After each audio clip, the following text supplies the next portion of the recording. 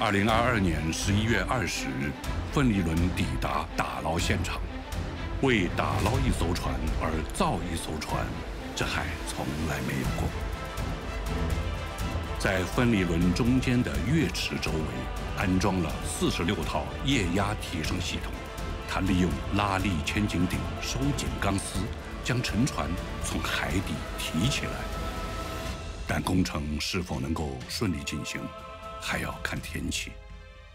我们总的原则就是说，万事俱备，不要来分。因为风对我的奋力号影响比较大，对湖心梁本身的偏移会有影响。二十号晚上八点开始，气象预报按照我们的预期。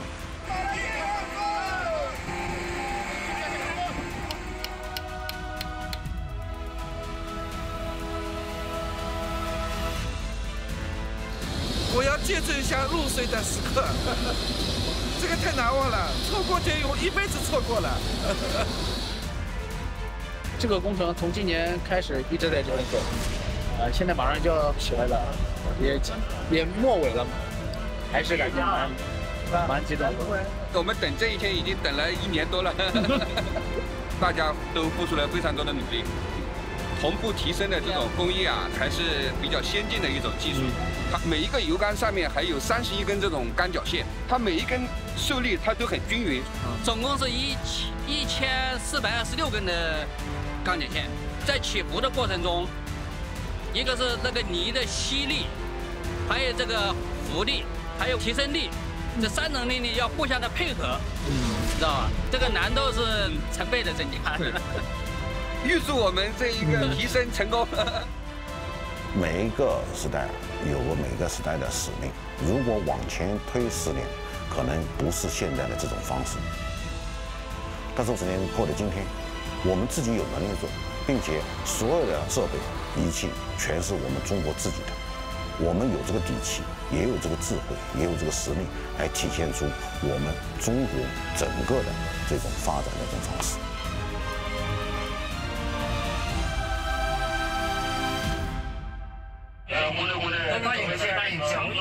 高潮未来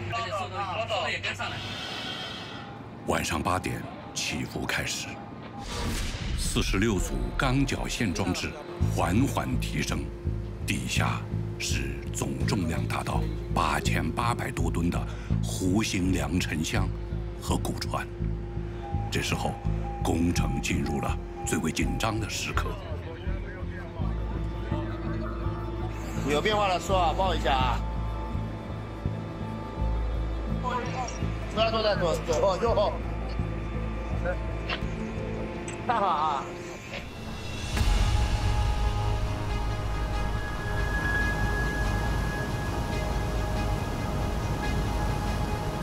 时隔十五年后，我国再次对水下古代沉船开展整体打捞。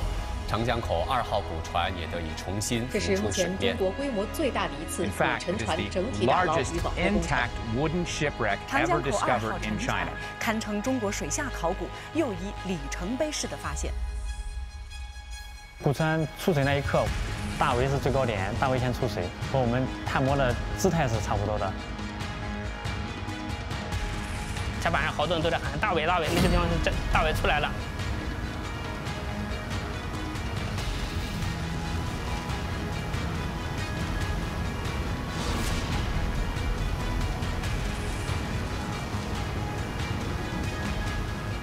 对潜水员来说，这正是他们此前无数次触摸到却又从未看清过的水底文物。感觉湖心梁这个整个湖心梁在动啊！我我都摸着是往边上走的，我到这个导向路呢。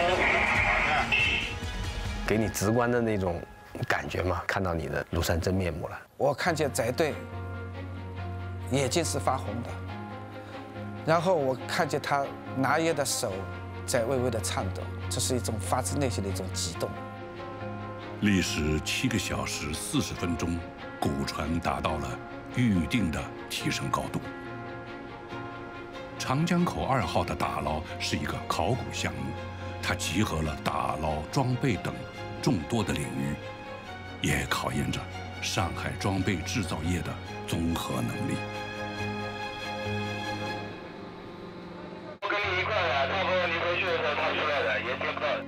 本来是我们都做好在海上做过年的准备了。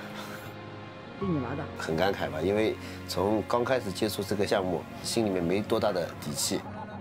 上船以后，顶着四十多度高温，登高作业，那时候我觉得就是太不容易了，而且是还要钻到那个我们的重量的这个舱里面去，这么厚的工鞋那个胶底，踩在这个板上，我感觉脚脚底板发烫。我们到海上以后，一开始这支队伍凑在一起，也是慢慢的磨合，到后面确实配合的有种默契了，最终能把它顺利打捞上来。我觉得之前的付所所有的付出都值得了。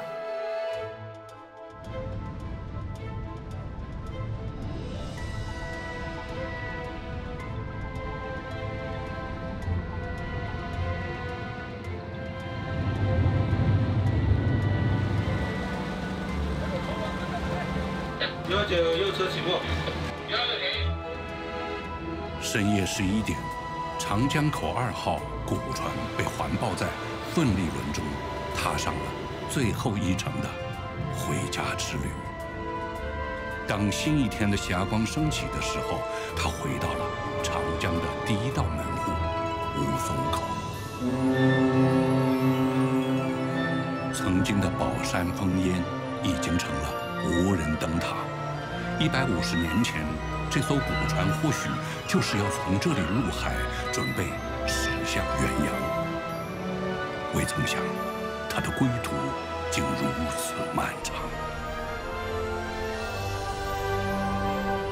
黄浦江水奔流不息，这条承载了数百年商船往来的黄金水道，他是否还认得出？